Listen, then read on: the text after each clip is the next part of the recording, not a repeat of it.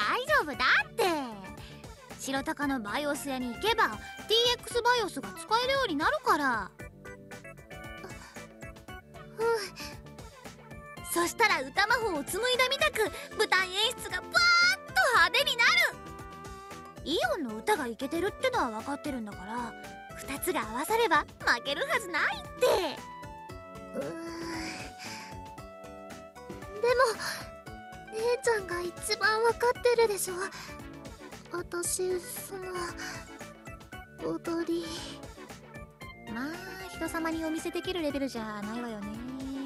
やっぱり。でもまあそこは任せて。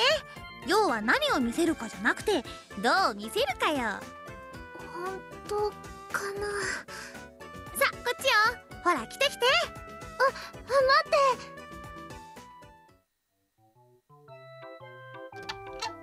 いらっしゃい。白鷹さプリティベリーちゃん。ん来てあげたわよ。夢売りのお兄ちゃん。こんにちは。うわイオナサル様まで。こんなすぐにまた会えるなんて。萌えの神様が我が一生の願いを聞いてくださったのか。俺死ぬのか。何一人で土地狂ってんのよ客よ客仕事の依頼。仕事？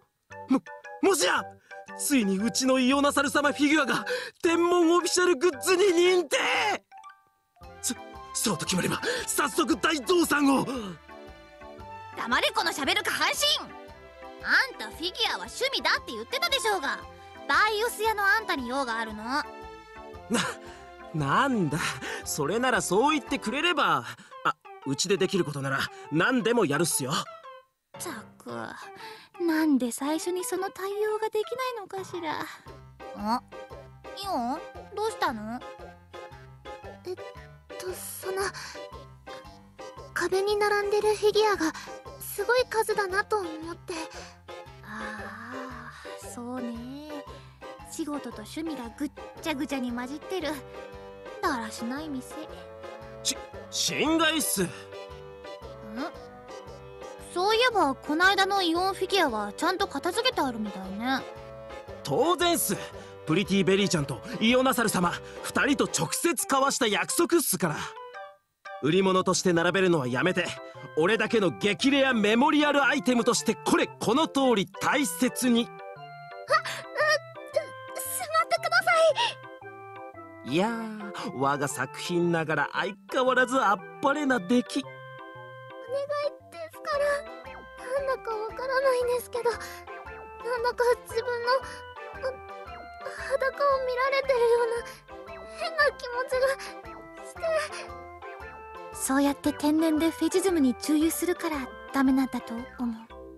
大丈夫っすよ。このフィギュアはエロい目的で作ってるわけじゃないっすフィギュアと生身は別っすからねそもそも。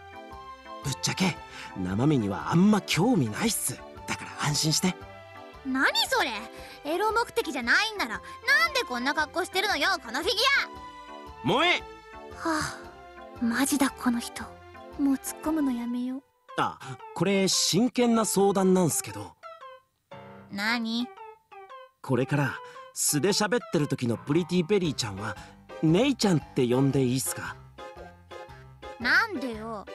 俺の中のプリティベリーちゃんはそんな言葉遣いしないから。あそう。勝手にすれば。やった！つついでにイオナサル様のこともイオンちゃんとかって。はい。それでいいので。あの。やったー！じゃあそう呼ばせてもらうっす。エッチなフィギュアああ了解っす。せっかく本人を目の前にしてるんすもんね。まったく。その性格さえなければ白鷹って結構イケてるのにね。なかなか腕利きのバイオス屋だって話も聞いたことあるし。へえそりゃもう。まさかこんな趣味丸出しの締まりのない店だとは思わなかったけど。ねひどっす。えフィギュアの趣味だけ封印すればあんたガチでモテたりするんじゃない？ああ興味ないっす。ぎ。俺にはこの美麗なフィギュアたちとプリティベリーちゃんの華麗なステージそして永遠のアイドルイオンちゃんがいればそれでいいっす。ももちろん恋愛対象とかって意味じゃないっすよ。俺のは愛も恋も超越した純粋概念。つまり萌え！はあ？プリティベリーちゃんもイオンちゃんも激レアな属性を持ってるっす。ホールを超満員にする踊り子属性。そしてこのラシェイラの未来を救っちゃうかもしれない公女属性。そんなありえない特技や運命がまさかこんな可愛い子に宿っているとは。そのギャップこそが萌え。恋愛感情なんつうチャチな心の迷いと一緒にしてはならんっす。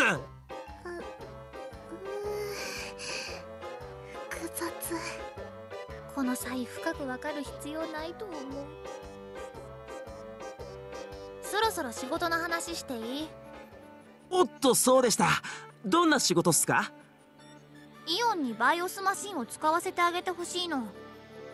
もう超オーケー。お安いご用っすよ。すぐ準備するっす。待ってください。などうしたの？姉ちゃん本当にやるの？今さら何言ってんの？当たり前でしょ？でもでも夢の玉で言ってたよ。試練の3年間シェルノトロンの贈与は受けちゃいけないって。えそうなんすか？知らなかったな。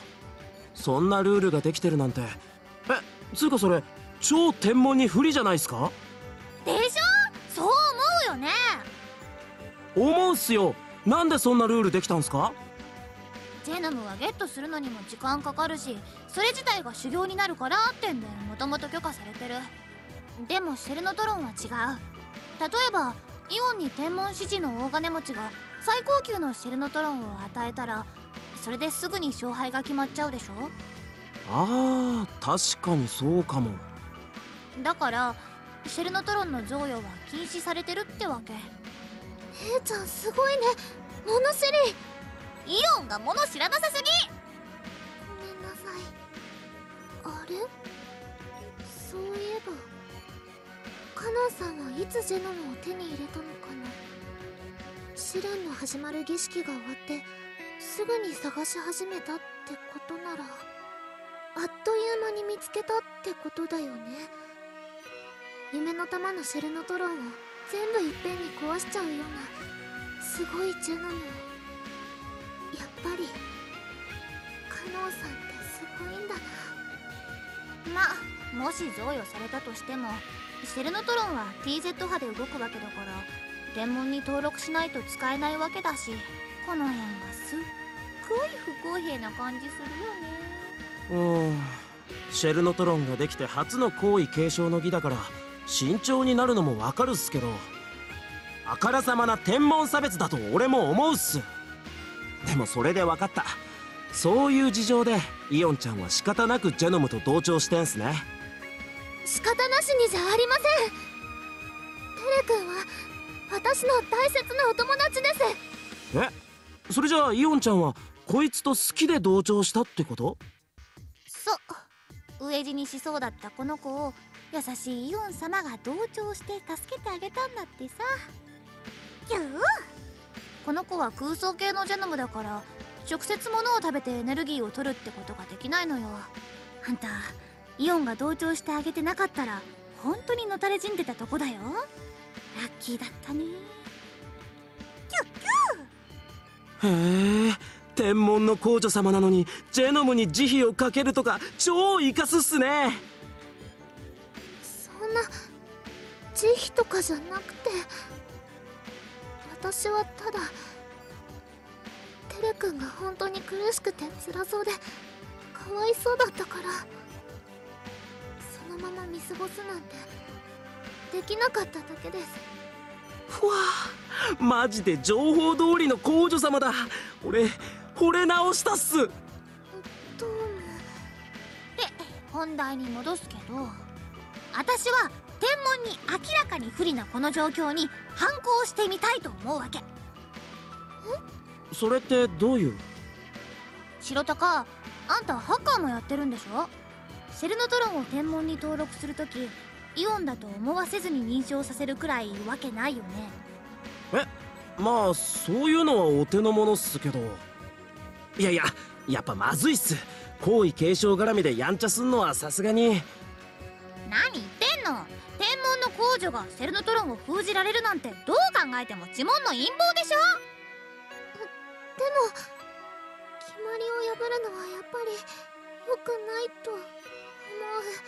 イオンは黙ってて。今回の継承の儀で天文が勝たなかったらラセーラはジェノムに支配されちゃうかもしれないのよ。そそれはそうだけど。そうだ。シェルノトロンじゃなくて G2 トロンにしないっすか？それなら俺やるっす。G2 トロン？なんでそんな時代遅れのもの使わなきゃいけないわけ？あの G2 トロンって。シェルノトロンが普及する前にちょっと流行った端末っす。今考えりゃシェルノトロンのベータ版みたいな扱いの代物だし知らなくても無理ないかもプログラムをインストールして歌う以外に使い道がないからシェルノトロンにとって変わられたんす。自由に歌魔法を作れないんだからしょうがないわよ。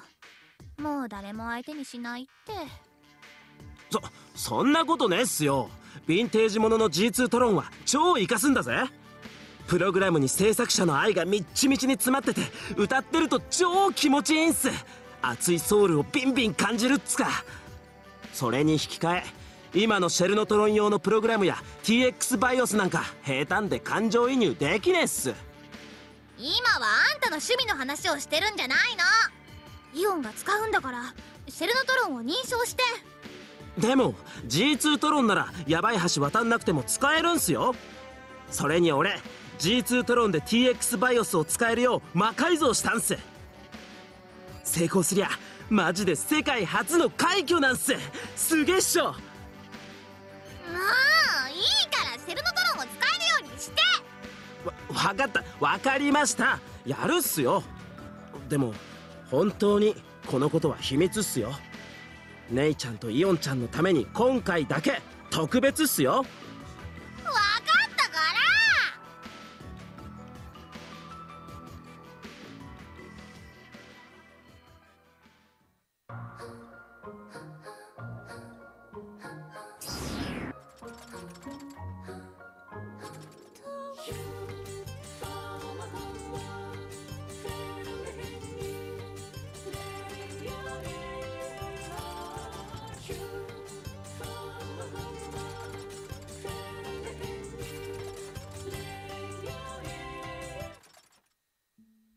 白鷹さんのお店に行ったことを思い出したよ。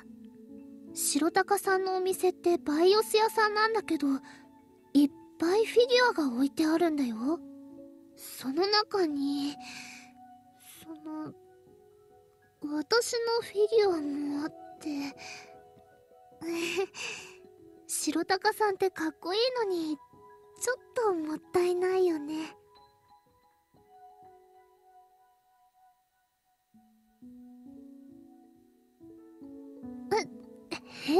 紳士？あなたの世界にはそんな言葉があるんだ。ああお話を戻すけどシェルノトロンの他に G2 トロンっていう端末もあるんだって。シェルノトロンのベータ版みたいなものらしいけど歌魔法以外に使い道がなくてあんまり流行らなかったらしいの。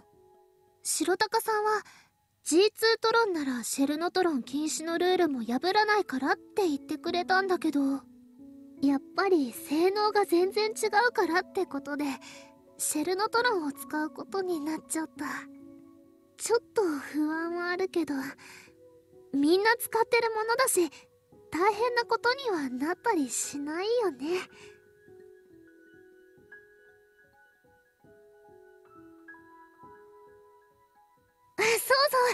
また思い出したものがあるから書いておいておくね。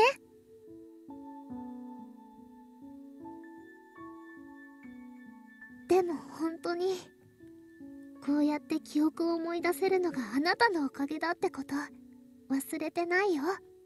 これからも迷惑かけちゃうかもしれないけどよろしくね。